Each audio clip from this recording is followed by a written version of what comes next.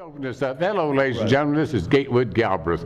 I'm here in this wonderful city of Portland, Oregon, at the bequest of my longtime friend and and and marijuana activist and all-around good guy, Mr. Paul Stanford, uh, sitting here on my right, and uh, the uh, movement's uh, uh, dream voice on uh, on radio and on the internet, uh, Mr. Casper Leitch, host of Time for Hemp uh, timeforhemp.com. Check it out. Uh, we're here today at a, a, fundraiser for me. Let's hear it for a fundraiser for Gatewood Galbraith. That's right. Governor. Uh, there you go. There you go. There you go. The bluegrass state. Let me explain it to you. Uh, I am from Kentucky, Lexington, Kentucky. I'm an independent candidate for governor this November in the governor's race in Kentucky. Uh, today is May the 15th, I believe. And uh, so what we have about the six months to go. Uh, they brought me out to be on uh, Paul's TV program, which I was very honored to be asked. And uh, they have set this up fundraiser for me in this wonderful theater called the Clinton Theater. And all the audience is small. Uh, the I can feel the I can feel that the dedication to seeing uh, laws change on a variety of subjects, which includes uh, marijuana in the case of uh, this group here that I'm associated with today. Uh, Kentucky was the world's largest producer of hemp for over 100 years. It was our largest cash crop for, for more than a century. And uh, imagine that, a, a, state whose largest cash crop was hemp. And uh, I'm sure that the, the, smoking aspect of it was, uh, you know, was also well represented. Um, people, um, of course, in the early 1900s, it uh, went down and they legalized it in 37. Uh, Kentucky should be the place where cannabis is returned as a cash crop in the state of Kentucky. And I started out a long time ago to try to make that a reality. Uh, I'm a fourth generation Kentuckian. Uh, I was 24 years old in the milkland in 1971 when I decided I was grist for the mill uh, that I was going to end up in prison or in, in jail or dead at an early age. So I decided that uh, I better learn the system. So, uh, or I was just going to be a victim of it. So I decided I was going to go to college, to become an attorney. and while I was at it, if I was going to put that much into it, I might as well become governor and change the marijuana laws in the state of Kentucky and quit treating our people like we're in occupied territory and take the government out of the, uh, the helicopters uh, out of the air that are hovering over the fields and gardens of the people of the state of Kentucky and put marijuana into the hands of as many sick and dying people in the state as I possibly could. And that's what I started out to do 40 years ago, and I've gotten up every day since that time to do that. I've run for office in the state of Kentucky on several occasions. This is my fifth time for governor. I've also run for uh, a, a agricultural commissioner, attorney general, and Congress twice. I've posed some mighty impressive numbers. I won't bore you with them all, but let me tell you that this time we is the very best chance that I've ever had to actually win the governor of the state of Kentucky. Let me tell you what that would do to the political landscape in the United States of America. That would be phenomenal. There was an independent uh, elected for the first time in 150 years in Rhode Island last last uh, political season but he had been a state, a U.S. state senator out of that, uh, out of that state, so he already had a statewide basis to go independent with. My running mate and I are totally independent, no party affiliation whatsoever. I've got a lady running mate named Dea Riley who's phenomenal. Uh, the mother of six, two adopted. One of her natural children has special needs. She knows where the, the, the, the, politics hit the road about policies for women and children in the state and uh, she's smart as a tack, and we need more women in leadership roles in the state of Kentucky. Uh, I am running this time. This is what I say. They say, Galbraith, you're a uh, perennial candidate. And that's what Kentucky's got perennial problems. If the people in Kentucky had, had, who had beaten me had actually fixed the problems, I wouldn't have had to run again. But they didn't, and they haven't, and they can't because neither party could produce a candidate can disengage from the partisanship long enough to work with the other side to get the job done and the leadership of the parties in, in uh, both the major parties in the state of Kentucky had their horns locked up like two bull elk fighting over territory while the business of the people lays dead in the dust. So my running mate and I say that only an independent who doesn't care who gets credit for doing what's right for the people of the state of Kentucky stand the best chance of untying that Gordian knot and letting both parties operate in the fashion that a lot of the well-intentioned membership really want to want to work. The beauty of it is we're not looking to replace either party. We're not looking to throw the rascals out. We're not looking for you to vote against your, uh, you know, your representative or senator, and uh, we don't want you to renounce your family's party. We're not asking you to do that. We're not asking you to vote for the dreaded other party. We're asking you to vote for an independent who wants to work with you to try to get the job done. And so uh, I've offered myself again this time, and the difference is there are several things. Uh, first of all, is that everybody's sick and tired of the gridlock in Kentucky. As they say, I accuse Kentucky of being the victim of electile dysfunction. They, uh, they just can't seem to get it right. And uh, so uh, what we think is that uh, we know for a fact uh, that we're already climbing in the polls. I, I said last time they, they polled us about, six months ago at 5%, and they said, what did you think? And I said, that's great with me. I, I believe we'll be 10% by May and uh, 15 to 20% by September. We were at 13% in April. So, uh, you know, we're, we're moving on up. We're really not spending any money. We don't have it to spend. Uh, but I've never spent more than $20,000 on any campaign in the past. We've spent 140,000 on this so far. Uh, you know, uh, 90,000 of it is my money. Uh, I, I, practice law for a living. I live, I live fee to fee. Uh, but I smell it this time. I smell it this time. That people are sick and tired of it. I got uh, endorsed by a union the other day, and I said, why, you know, why did you folks endorse me? And they said, because you've never lied to us, Gatewood. And I said, well, hell, if I was going to lie to you, I'd already been elected, you know? And, uh, and pe people are understanding that. And people are cluing into that. So uh, what does an election for Gatewood Galbraith in Kentucky mean for the people of the city of Portland and the people of Oregon? I'll tell you what it means. For the first time in my memory that I've ever heard, the people of America are going to have a champion who believes it when the founding fathers conferred sovereignty on us as human beings, when they said that every every human being is endowed by their creator with life, liberty, and the pursuit of happiness, certain inalienable rights. And uh, for the first time, think about that. Before the American Revolution came about, we were all property. We belonged to the local king or queen, to the local warlord, whoever possessed the most gunpowder in the valley. You didn't have any inalienable rights. People didn't have any inalienable rights. If the ruler said, hey, come in here, off with their head, there you went. There was nobody to intercede on your behalf.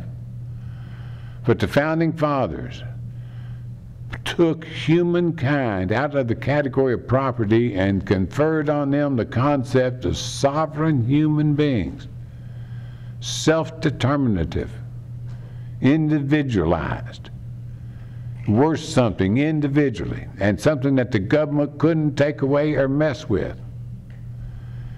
And they wrote a constitution. The, Declaration of Independence didn't become law, but the Constitution they fashioned to try to immortalize that was, was their attempt to write a set of laws that was going to keep that project in mind. So it was a human revolution, that conference of sovereignty on the individual. And then they turned us loose. And with that kind of freedom, we've come become America, and that's the way it was supposed to have started out and what we've been trying to keep up. But that concept of individual sovereignty is under great pressure today. And the current generation is facing the greatest threat of all of having the Bill of Rights just flat drawn out from underneath us in the, uh, in the nanny state thought line of protecting us from ourselves. But what it is, is, uh, is, uh, is uh, absolute assault on the, uh, on the uh, privileges of sovereign human beings and sovereign citizens of the Constitution. So the, uh, the right to life, liberty, and pursuit of happiness is not a law because it's, not in the Constitution. But in the state of Kentucky, the very first section of the Constitution of the state of Kentucky says that we're all uh, possessed of inalienable right to life, liberty, and pursuit of happiness. So I'm going to reconstruct Kentucky's policy and Kentucky's government around that thesis.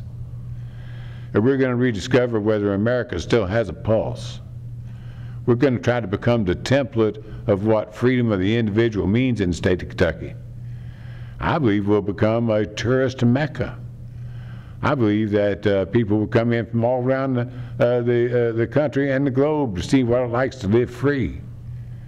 And I'm not talking about riots in the streets. I'm not talking about, uh, you know, uh, uh, people uh, causing uh, tumult uh, out in public. I don't see that happening. I just think that the idea that we're attempting it is going to bring in the, the right-minded people. But we're going to try to spread it out. We're going to try to rediscover the American Revolution. And we're going to do that by putting the processes and the surpluses of a form of government out to the people instead of special interests. I know who those special interests are, and I'm going to put a stop to it, and the savings we're going to put back into the hands of the people. So um, I, uh, I can tell you a couple of plans that I, I have for the state of Kentucky. Uh, I would appreciate if I get that opportunity. I'm sitting up here with a couple of uh, a couple of movers and shakers in the, the uh, in the the prospect of uh, medical marijuana and marijuana to people. I said early on that I wanted to uh, make marijuana legal, but I, I don't want to make marijuana legal because eight-year-olds can stand on the street corner and eat a tomato, and that's legal. I don't want that. I want some sort of uh, people ought to be able to grow their own uh, and be regulated by families. If there's any problem with it, bring in social services instead of the cops. Uh, you know, if uh, and only that under probable cause. Uh, but uh, if it's going to be commerce in it, the, the government has right to license and or tax. They just have that right. I mean, that's commerce. Uh, they do the same thing with widgets. So, uh, you know, but I want that money. I don't want it going over to the corporations. I don't want Friday night sales. I don't want golden arches. I don't want clearance sales. I don't want any advertising encouraging its use. That's not what we're out here for. You know, at the same time, I'd like to see the money that's generated back go back to the dealers, the people who are dealing now. They're some of the best minds of this generation. They're running a billion dollar business without a shred of paperwork. You know, I think that they ought to, I think it ought to stay in the hands of the people who are putting it out now. But uh, I'm also going to uh, put it in the hands of all the sick and dying Kentuckians. I want to uh, take it out of the hands of the teenagers and put it over to the hands of the people in the old age homes.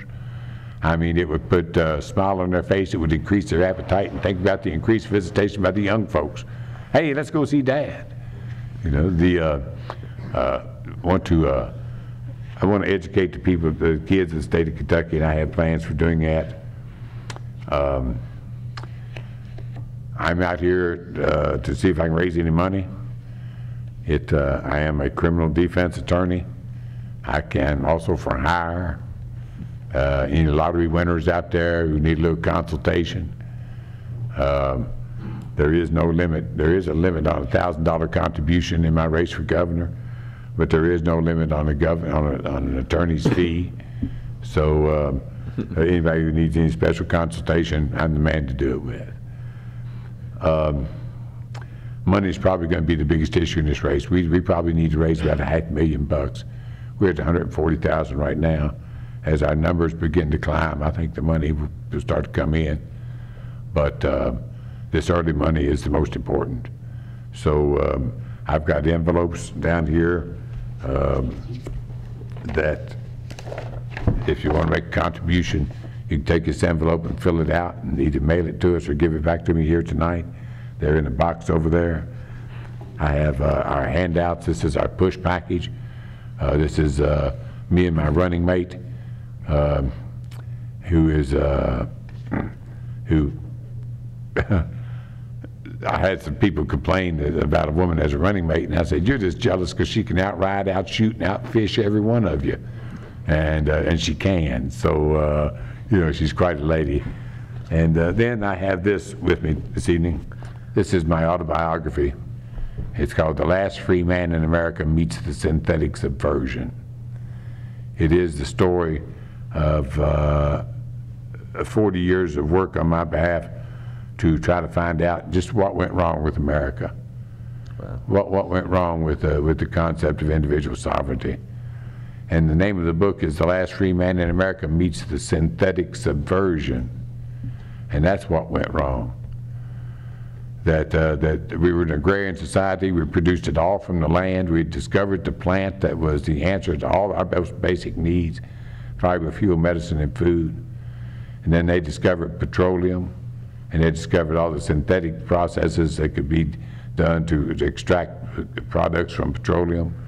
And they decided to take the farmer out of competition with them, not only in the petrochemical, but the pharmaceutical and medicinal aspect. and so now a great number of our problems uh, dealt with because both the major parties that were set up to protect us, uh, both on a national and local level, had been bought off with the special interest money, extraordinary special interest money from the people that I call the petrochemical, pharmaceutical, military, industrial, transnational, corporate, fascist, elite son of a bitches. It's got a The one- to it. the ones who've never said the Pledge of Allegiance to the flag of the United States of America or to the republic for which it stands, and the ones who view the Constitution and the Bill of Rights as impediments to the implementation of a new world order and global economy. And that, that's just where it's at. These people have bought off the people who are supposed to be protecting us. They're trying to dismantle the Constitution and our rights just as fast as they can. Well, they ran into a hard road to hoe in the state of Kentucky if I get to be governor. And I recognize them for who they are, them guys. And I ain't gonna let them guys take over and make a mockery out of the sacrifices of all the dads and granddads who hit the beaches at Normandy and Iwo Jima so that you wouldn't have to pee in a cup to hold a job in America. So we're going to rediscover uh, whether people, in fact, those people died uh, in vain. Every generation must re-win its own freedoms. That's what it says here in this little cloud on the front of the book. You know, all the sacrifices that anybody in the past, up until the last second of my talking to you, don't count anymore. It's what you're willing to do from this second forward that's going to decide whether we still have any freedoms in America. The reason I became a champion of marijuana is because I was asthmatic all my life. And uh, I uh, was uh, in and out of hospital on many occasions. I was 4F for the Army. I made the Marines take me by getting a couple of doctors to say I'd outgrown it. I was on Parris Island for six weeks, and somebody pitched some dust in my face, and I went into an asthmatic attack. I was discharged from Parris Island Marines. I was 19 years old. I didn't know marijuana cured asthma. A friend of mine came back from Bangkok, Thailand with some Thai weed and said, Gatewood, try this. And I said, isn't that dangerous? And he says, it'll help you. He later became a doctor, so I trusted him. I smoked marijuana the first time, just like that. It cured my asthma. Just like that. For someone who's gone through a lifetime of 21 years being totally afraid that at any moment their lungs are going to close up on them, let me tell you, that creates a lot of free-floating anxiety.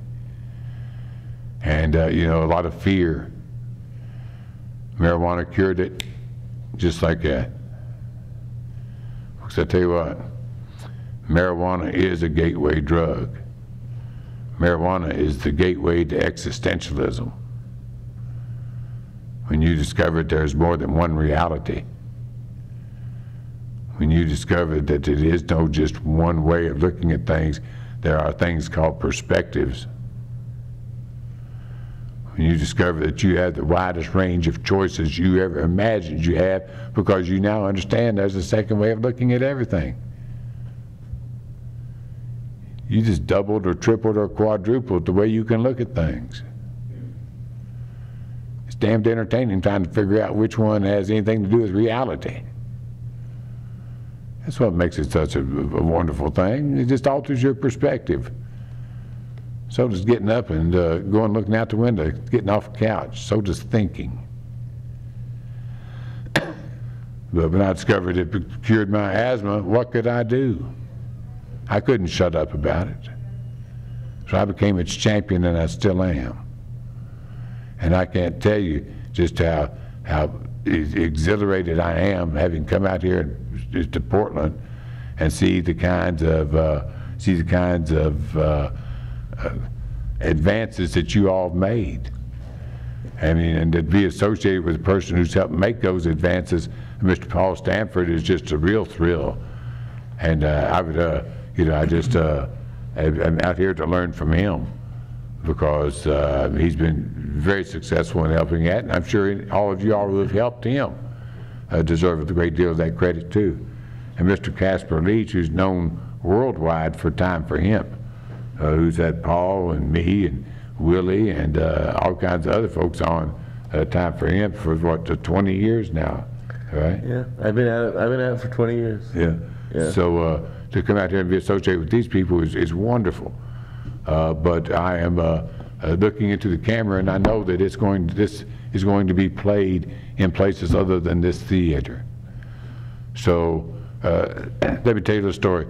I was running for governor in 1990. I had $700 on me. My wife was divorcing me. I was uh, pretty well bankrupt, but I wasn't going to give up on the governor's end of it. So I went out and I rented a TV camera and a, and a chair, and I sat in that camera and looked into the camera and uh, gave who I was and what I was doing. Then I paid them another $400 to send it up on satellite. No particular time, nothing. Two days later, I'm coming back to my law office, and there's a note on the door that says, uh, Gatewood, call your ex-wife. Willie Nelson is trying to get a hold of you. And so uh, I called my ex-wife because my phones had been cut off. And uh, so uh, she said, yeah, Willie was driving down the road on his bus surfing the channels, and he caught the whole 30 minutes of you looking into the camera and talking about what you were doing. And he says he wants to help. And so, uh, yeah, Willie, I called Willie and we got together. And there's a whole story about how, how that happened, but that's a pretty good start. But uh, the fact is that you can never tell how far your voice is going to carry into who's going to be watching this. So I'm telling you that if you want to advance freedom and individual freedom and attempt to find out whether America still has a voice, uh, the Gatewood Galbraith Dea Riley campaign for governor of the state of Kentucky is the one to get into. And uh, we figure we need about a half million. We've raised about 150,000 thus far. Uh, we can always use uh, always use a big dog. It's time some big dogs got involved in this. We're willing to advance the idea of America more than anybody else is in this country. And uh, I'm just the guy to do it. You know, I was, I was voted the honoriest kid to ever come out of Nicholas County. I'm just, I'm just the guy to do it. But I really appreciate it. I've been just, uh, uh, just ecstatic about my treatment out here and uh, meeting all you fine folks. If you can uh, make a contribution tonight, I have a book for you. Um, and uh, if you can't, I probably still have a book for you. I'm that kind of guy. Thanks very much.